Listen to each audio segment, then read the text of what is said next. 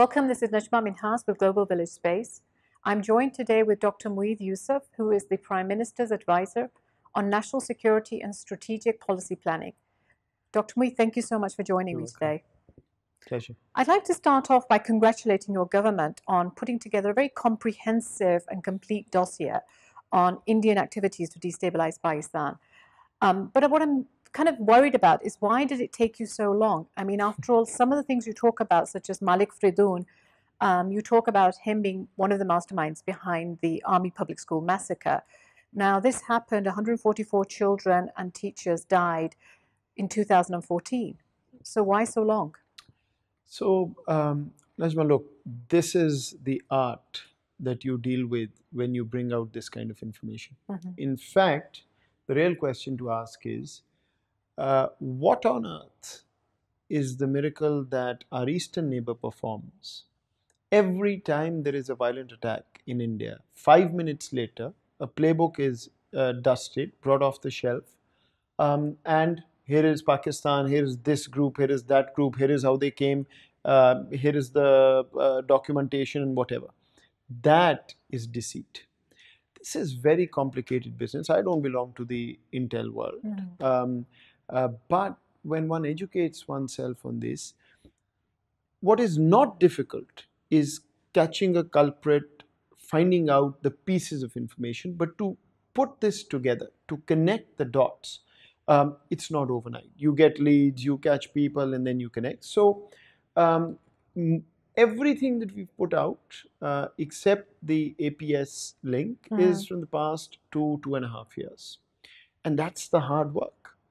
The APS um, connection, uh, because of the agricultural university attack, is which that's what led us to get to the mastermind. Okay. So that's f- new information, wasn't available at the time, and that's where the dots were connected. Now, also keep in mind, sometimes it's entirely possible that you have information, but you're 99% sure. You're not 102% sure. And when you put something out with the state stamp on it, you've, you're giving it to the world, you're giving it to the UN. This is information we were 150% sure about. We've got tons more, uh, which we're still working through. And as we've said, there is more to come. Okay, but I mean, you mentioned yourself that India puts out information and puts the blame on Pakistan within five minutes. In your own words, within five minutes, India has already told us Yeah, because it's this lie. attack happened and Yeah. Pakistan is behind Yeah. it. Now, it's been five years. We're still waiting to hear about Kulbhushan Yadav, for example. He was arrested in March 2016, and we've yet to receive a dossier on him. No, but see, these are the processes. You, I understand there's we should be- processes, but No, but we should be proud of the fact that we're a responsible state that does things according to international law and norms, right? Kulbhushan Yadav's case has gone to ICJ. India took the case there. Mm-hmm. Now it's sub judice. There is a process that's taking place. We are fulfilling the three requirements that ICJ had. And so once that process is over, there will be but a lot nobody's stopping you about. from giving public information about his activities. Yeah, but maybe we think that it's not right for our case at this point, right? So I mean, there are there are Right. always Okay, reasons why but let, us go back to the fact that the Indians within five minutes publish and state that Pakistan is behind any terror attack in their country. What do they achieve by this? What they're achieving is you had an attack, there were an emotional response to that attack, and straight away the world knows that this country, whether it's right or wrong, this country is responsible. What we achieve is six years ago, 144 children and teachers died. It was an atrocious slaughter of children. If you- Six years later, nobody has emotions about that event any if longer. If you're going to put a proposition in front of me as an official, uh, as somebody who's advising the prime minister, I've got an option to create sensationalism with a lie or a half-baked fact, or I am going to be responsible. Emotion may have disappeared, although I don't believe that it will ever disappear uh, on No, something like on- APS. on something like that. um, I would take the latter. And why would I take the latter? Today, um, you can look over the past two years, every Western outlet uh, is calling out India Mhm. on not only what is happening in Kashmir, which is not their territory, but even within India. Now, when they talk about, oh, Pakistan, it's a broken record. Why? Because they've used that lie for too long. No, but you say that because you're Pakistani, right? No, no, no. I am whenever, even when I was sitting in the US, Mhm. there was a very clear conversation. oh, we call India a natural ally of the US. Is it? Is it really the country that we think it is? These things do catch up. I'm not saying that we should always take this long or whatever. We will do what is right. Yes, there are downsides. It's less glamorous, it's less shiny, and Well, all is it because you're taking the morally superior position that we're doing when we have 100% information? But is it actually because you feel that the international community would not believe you if you came Yeah. out within Yeah, five minutes? Of course, of course. Look, uh, I'm not one of those who's going to sit here and give you the party line on everything. India has made a lot of effort, especially since 9 11, to malign Pakistan internationally. Mhm. They've spent millions of dollars. We've shown you a glimpse in the dossier as well with FATF and what they've been doing. We put letters out. Uh, I used to sit in Washington, see that all the time, right? Today, you go to Washington and tell them you want to hold events, conversations on the dossier. You'll get 5% response. Why? It's bad for business, right? So they have created propaganda. We talk about lobbies or whatever. I don't like to use that word, but basically they have created a negative perception about Pakistan. Now, the reason they've been able to create that is not that they had facts on their side. There was a convergence of interests with India uh, over strategic issues in the region, as we know. But second, there was another problem there.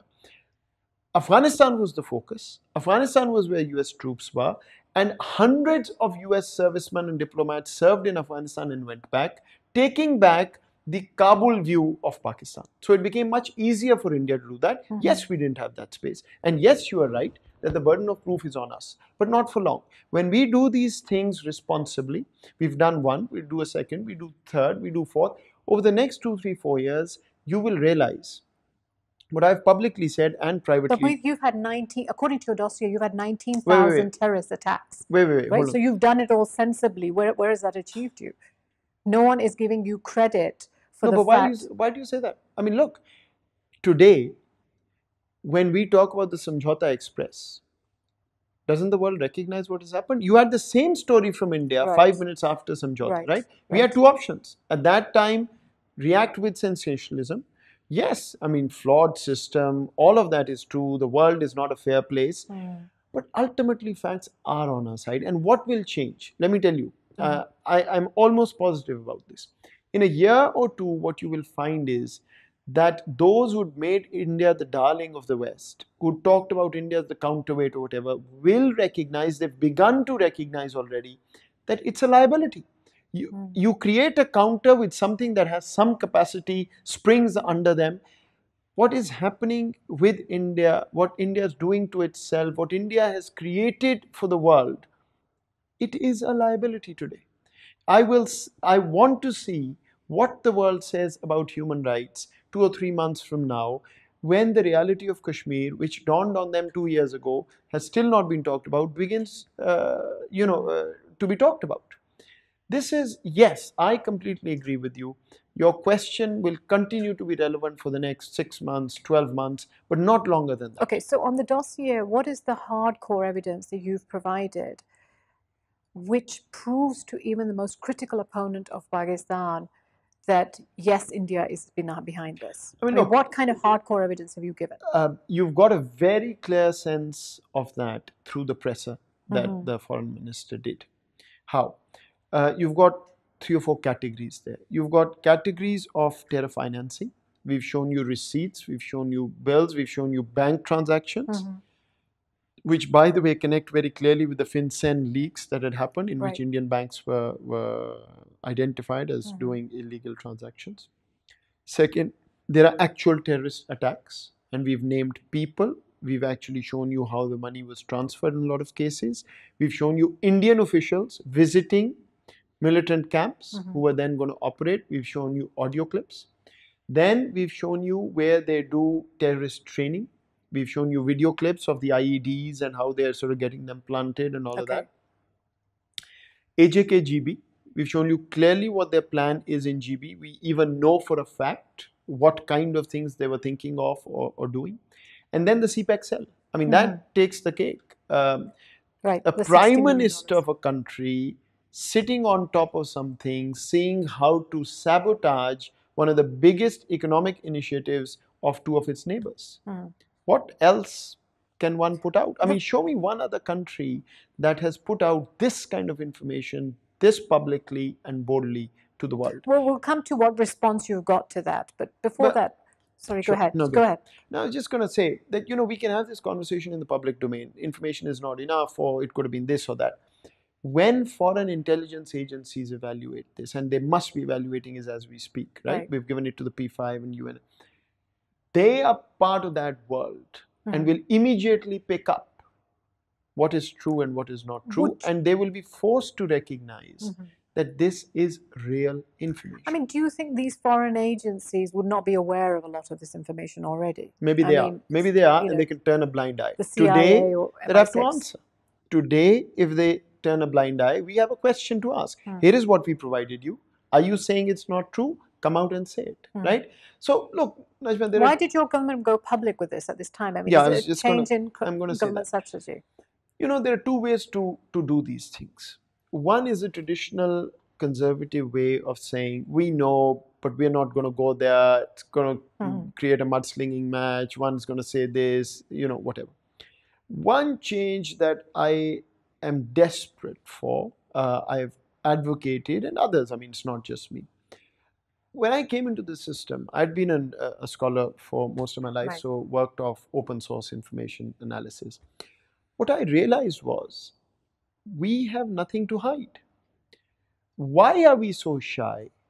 Why are we so worried about what others are going to think of us? It's, it's not a beauty contest Right, right, we, to my mind, this is my personal view, right. we've been too cautious in our approach with the Hmm. world. There's nothing to hide. We've got to be proactive. We've got to be on the front foot. I'm not saying aggression, I'm not saying uh, emotional, Right. nothing. Pragmatic, reasoned, but proactive and on the front foot Mhm. if there is a narrative, we have a counter narrative. And we need to create proactive narratives, right? That's the change I think our uh, engagement with the world has to bring. Right. If we remain, uh, it's almost like we feel guilty about upsetting people. Well, if the facts are with us, I have no okay, so given the fact you've just said that we have nothing to hide, you've only given the media in Pakistan eight pages of this dossier. Now, presumably, you've given it to the P5, to UN, to the EU, so there's not going to be much confidential. And at the same time, if you want the international media to understand and to pick up this story, you need to give it to your local media so that they can put together a coherent and cogent story. But you've only given them five pages. Why? Eight pages, sorry. Yeah, I think, again, I won't speak too confidently on this because there are others who are in the lead and not me. Um, one of the thoughts was that we want the uh, counterparts to digest it. We don't want to make this a conversation where somebody can say, oh, you're just creating a public spectacle out of this, right? But now that time has passed and elapsed and, you know, they've had it, yes, the next step is So you're going to give out small parts of the information Again, time. I won't speak uh, too confidently about this, but yes, absolutely more information will flow. So another thing is um, the 19,000 terrorist attacks and the 83,000 casualties that have been affected. Do we have lists of their names on, let's say, the Ministry of Interior's website, for example? Can we Oh. identify these people who who were killed under the terrorist attacks? I don't think it's public. I mean, Why of course, um, I'm pretty sure that you know the the list. I I don't know the eighty three thousand names, and eighty three thousand, of course, are casualties. Um, the state would, of course, know uh, where something happened and who was identified and who wasn't. But I'm not entirely sure if if they're public information. Uh, I can check, but I'm not I'm I- not aware. Do you intend to give out information, for example? What about, I mean, I'll give you the example of Mexico. I don't know. It's just a personal view. I'll give you the example of Mexico, for example. After the drug wars, Mexico put together a list and actually put up a commemoration for these people um, about the drug, the people who died from the drug wars. Um, the U.S. has done it for Vietnam War. Isn't this something we should Yeah, be I doing? think- should I we not be commemorating our people? I think it's a very good idea. I it's mean, a very good idea, and uh, it's part of your narrative building, which you've referred to. I think it's a very good idea, not only for narrative, but I, I think recognizing people. I was just going to say before you asked this question, uh, putting myself in in those shoes, uh, you know, is would I want something like this out? Uh, God forbid, if it were uh, somebody I knew or my family culturally. But maybe you're absolutely right. I mean, it's worth worth a thought. What about the Pakistani collaborators? And there must have been a lot of Pakistani collaborators. I mean, do we will we find out who those people were, and What kind of action is taking place against them? Some of it, of course, you know, some people uh, are no more. hmm Some people are not in Pakistan, right? So there are people who perpetrators, who, who uh, conduits, who are sitting in many countries in the world. Some Mhm. we know, and some, of course, uh, are at large.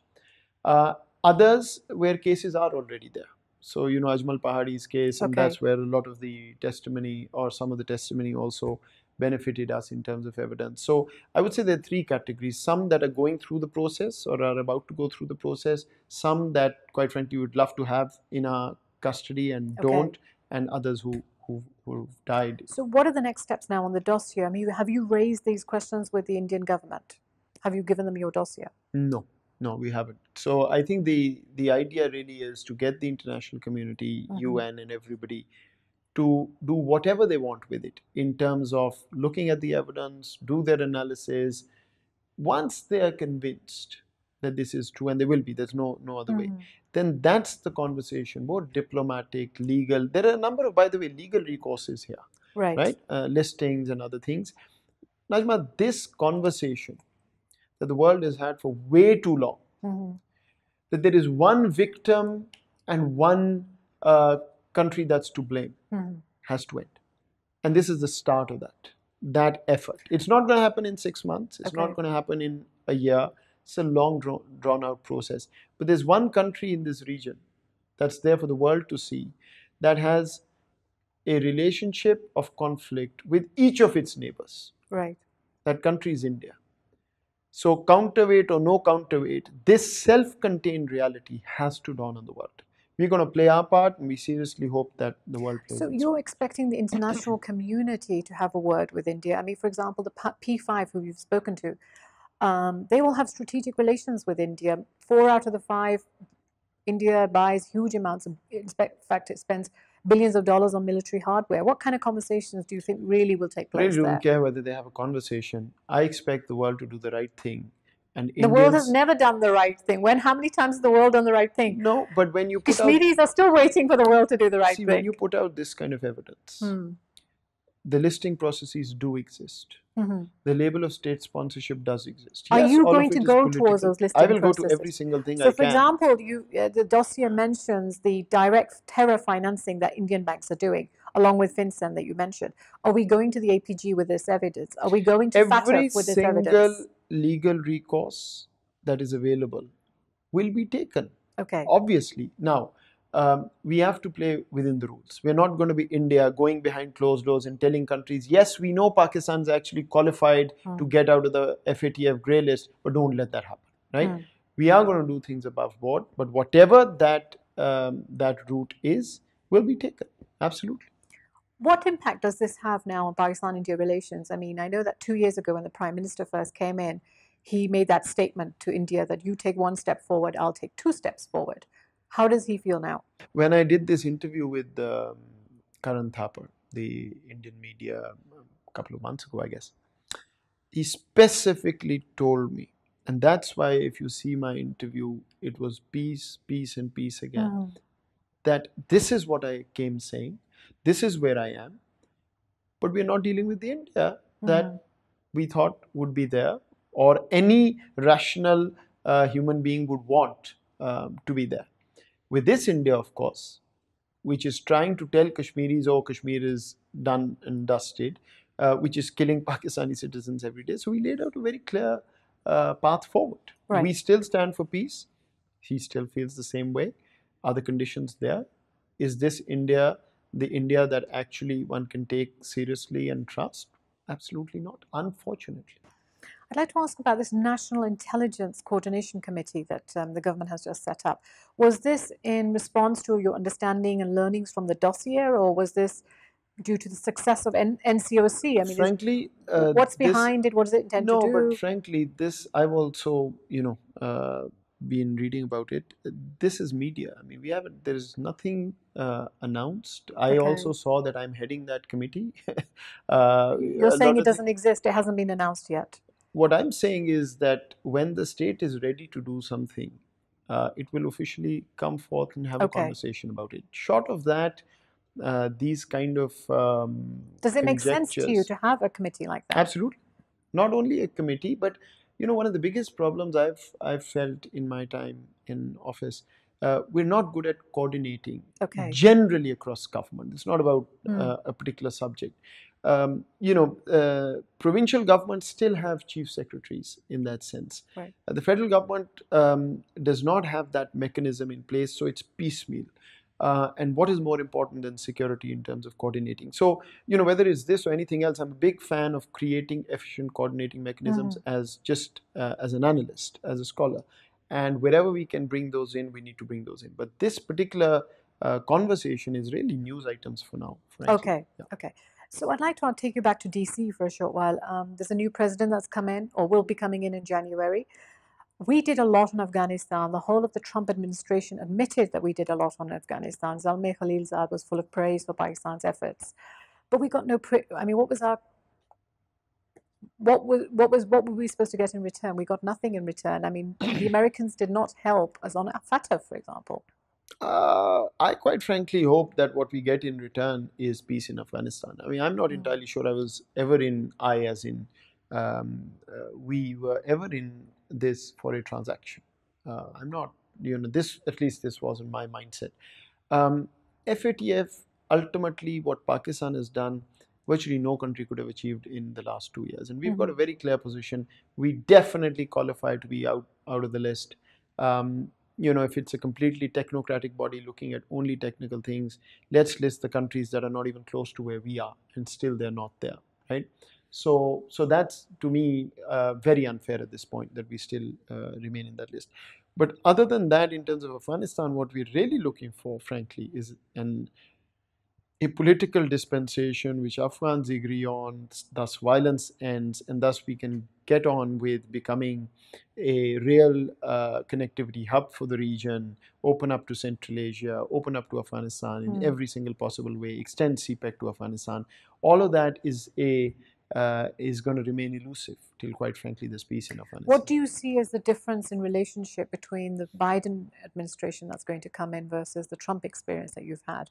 How do you see things progressing? I actually think, as a state, to me, whoever is ruling any country Mhm. is the counterpart. Uh, and so I've got to put my arguments to them.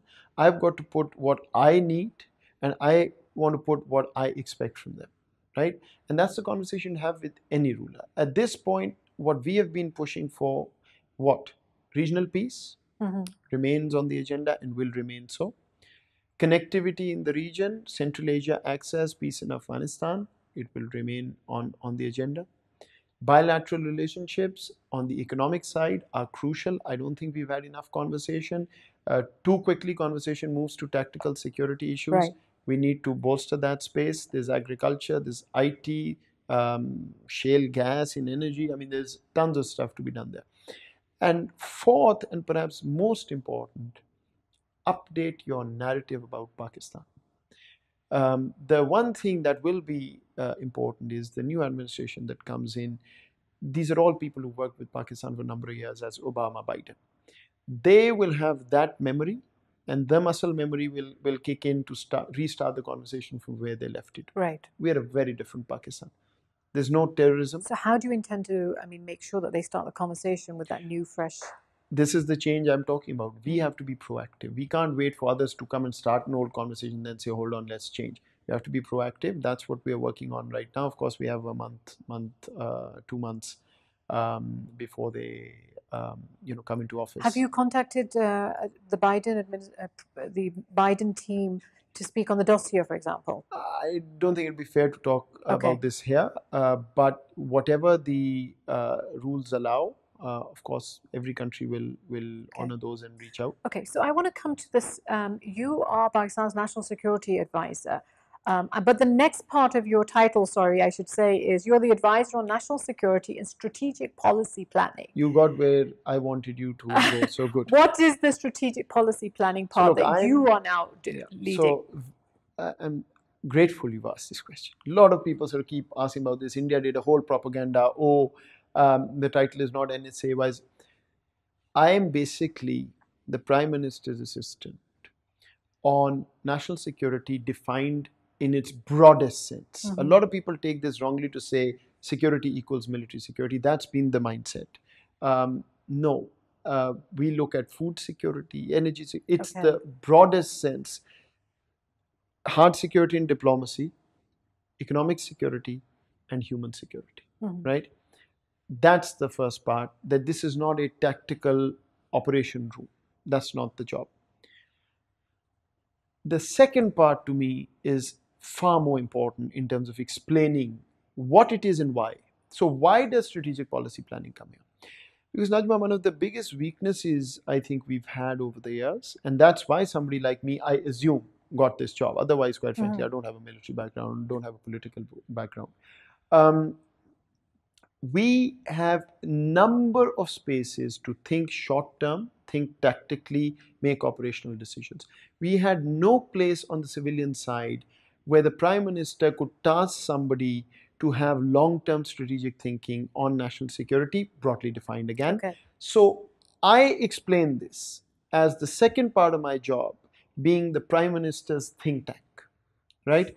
And why do I say that? Because without having this prime minister's think tank or long term vision, the rest of the national security decision making Mm. is always going to be short term, Okay. right? So, in some ways, I would love to have the title reversed Okay. frankly and that's how i approach my job this is a place which it's it's a shop of ideas that puts out new um, sort of thinking patterns which actually throws spanners in the works every day so you know i'm also a fairly uh, disliked commodity because the idea is change the idea is pushing the envelope if you do that Mhm. then that also informs your short term thinking and decision making So- and that's the first part So you're talking about strategic communications and internal and external that's part of it. thing. But what what are you doing in that field?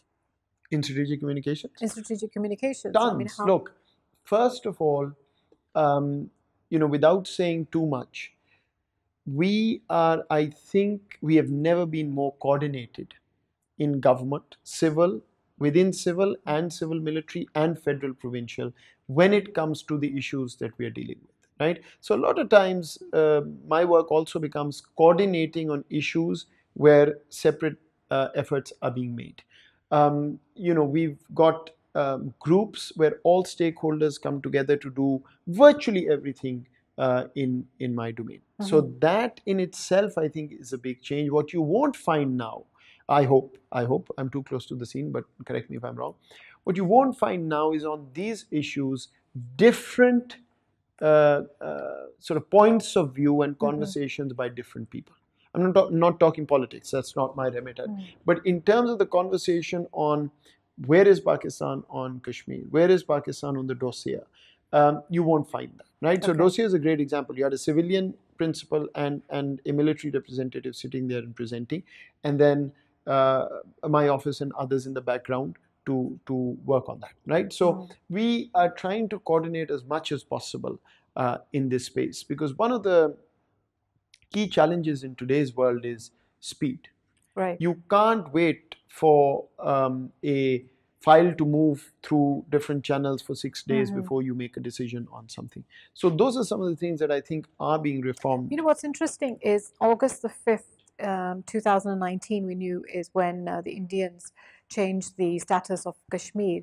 August the 5th, 2020, they decided to celebrate the Ram Janam Janambhoomi Day Mm. on the same day. Mm. So it took the whole focus of the media away from talking about Kashmir to Ram Mm. instead. Mm. Now, is this the kind of thing that we should be thinking of doing in terms of maybe December the 16th No, or some other days? um, if you stick to August 5th, yes, Mm. that's what they tried, but quite frankly, they failed miserably. I mean, I give you a simple example because again, that's a uh, that's an issue of coordinated uh, messaging. Times Square. I don't know whether you followed or not, but Times Square displayed Kashmir as an issue um, on the main screening, which, as you know, is not Yeah, uh, yeah. not easy easy to get. And it wasn't us; it was Mhm. Kashmiris, Kashmiri diaspora, whatever. But the more important part, India had bought that space for puja, uh, where Modi was, uh, or India was presenting itself as again, you know, this uh, sort of mischievous way of saying India is a land of peace and whatever. That was cancelled and space was given to another agenda. Why? Uh, Le Monde carried a three column story on Kashmir. This is France, right?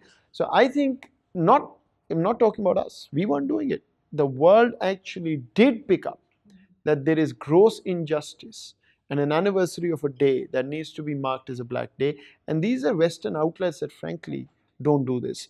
Um, of course, they're going to deflect and distract. If they don't have um, something to present as fact, then that's what they're going to do. But I'll also say something else to you, which may or may not surprise you. Countries that succeed do two things simultaneously. They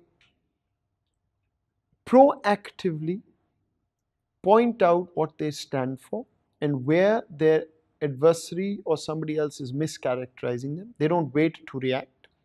And second, simultaneously, they introspect. Where do we go wrong? Where did we go wrong? What are things that we're weak on? And we change that. It's no fun just continuing to say, I've got everything perfectly lined up. It's just the other. Yes, it's the other in a big part. With it, it's introspection. So if you ask me, what's the broadest vision where I sit? It is putting Pakistan on the map on the front foot proactively and having very hard internal conversations to remove our blind spots and fix whatever weaknesses we find. And coordination is one of them. Um, so I'd like to ask, how do you think Pakistan can change its perception in the world?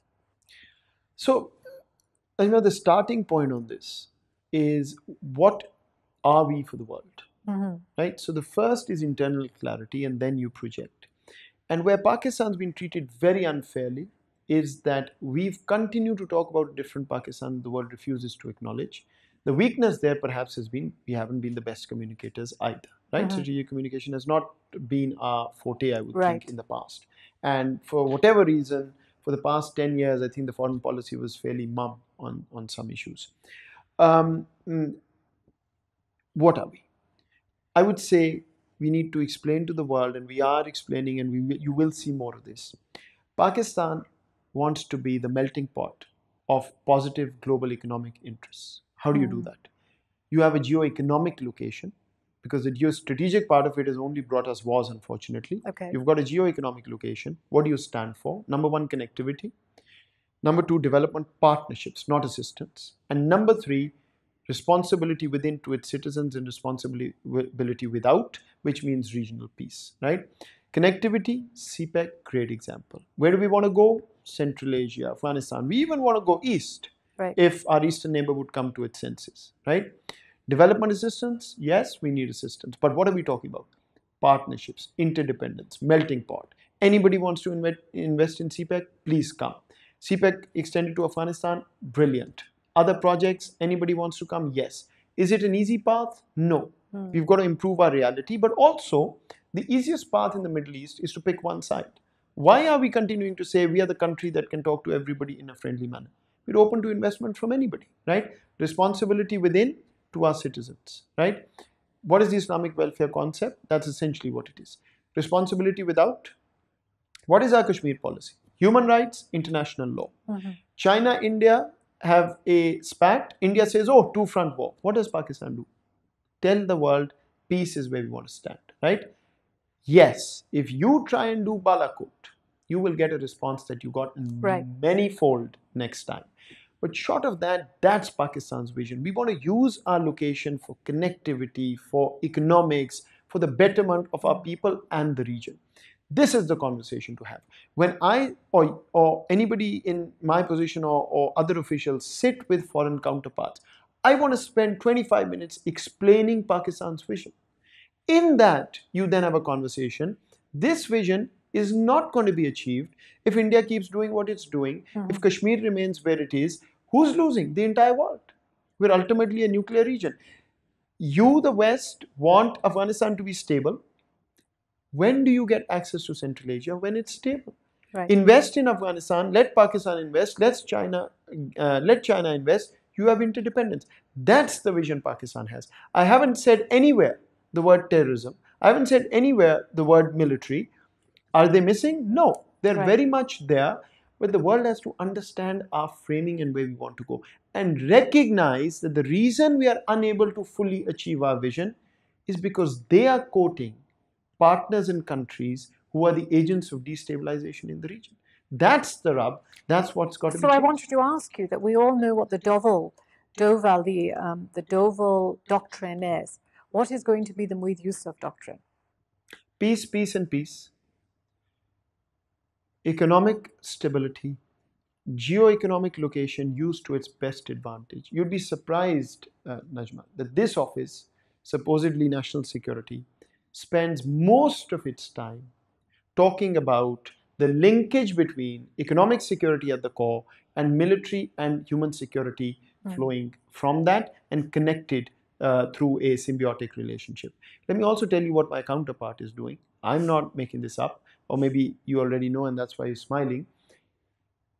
Getting articles written against Pakistani officials and institutions, walking out of meetings because there is a legitimate map of another country on that country's officials' wall, Mm.